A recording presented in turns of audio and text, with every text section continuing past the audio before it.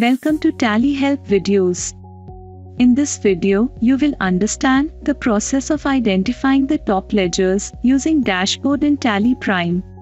Consider that you have ledgers under sundry creditors for your sellers and under sundry debtors for your buyers.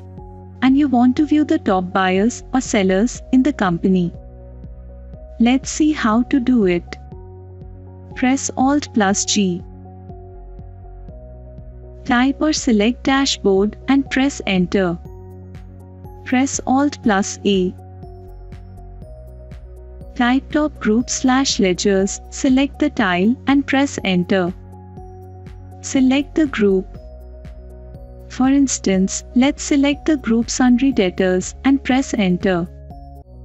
You can see the top group slash ledgers tile and view the values. By default, the tile shows the top 5 ledgers. Press Alt plus C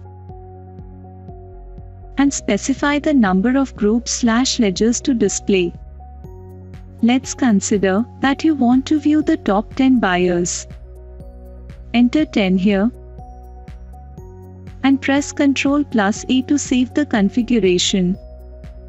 You can now see the top 10 buyers in your business.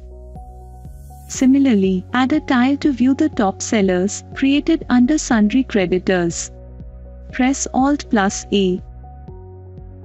Type top group slash ledgers, select the tile and press enter. Select the group. For instance, let's select the group sundry creditors and press enter.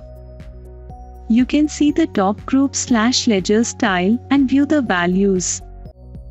By default, the tile shows the top 5 sellers.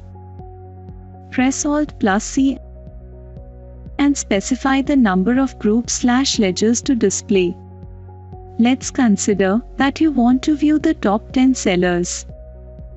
Enter 10 here and press Ctrl plus A to save the configuration.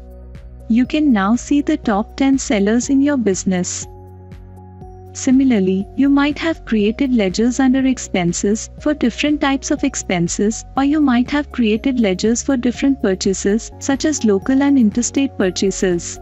You can easily add the top group slash ledgers tile with the required group.